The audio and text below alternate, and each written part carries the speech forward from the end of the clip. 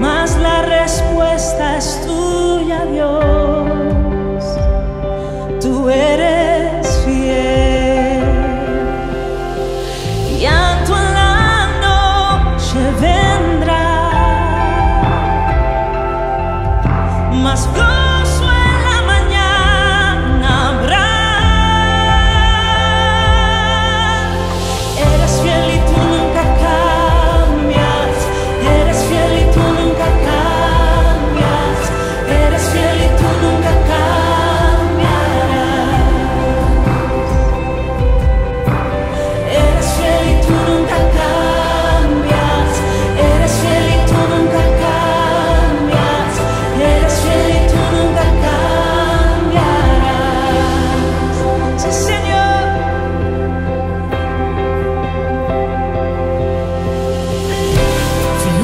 las.